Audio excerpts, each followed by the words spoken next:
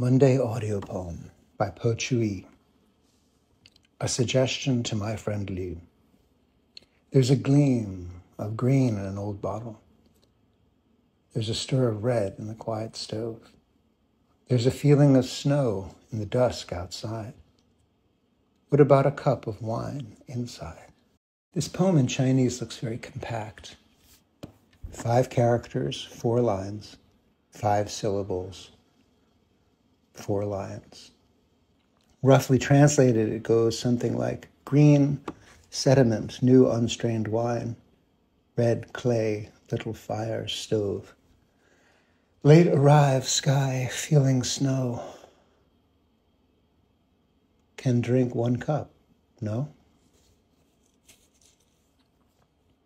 This tight little container of five characters and four lines holds a lot of melancholy and uncertainty. The speaker looks at a bottle of homemade wine, sees the dying fire in the little stove. It's evening. The sky is hinting at snow. And he asks, almost to no one, How about a cup of wine with me?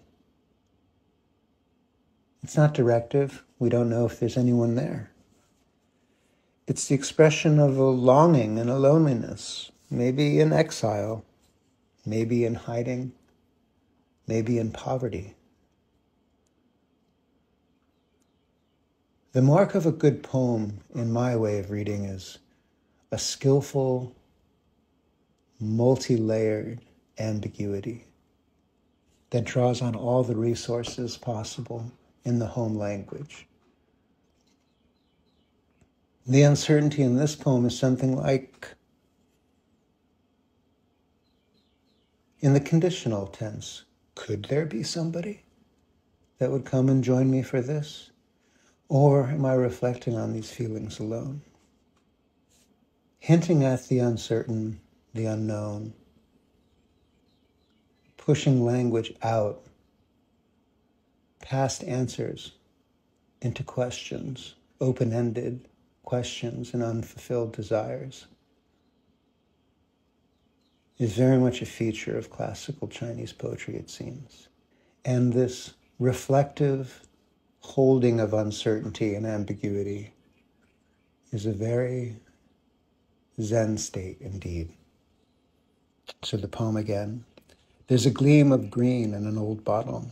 There's a stir of red in the quiet stove. There's a feeling of snow in the dusk outside. How about a cup of wine inside?